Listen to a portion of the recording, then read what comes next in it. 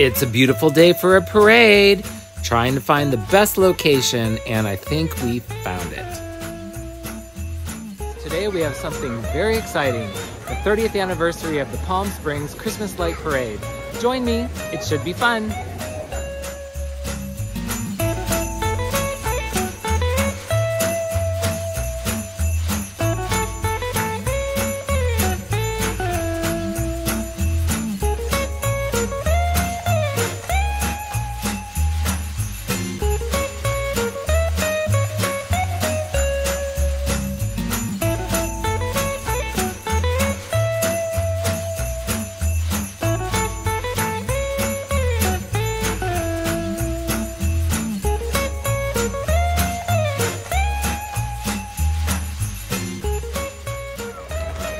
Parade has started.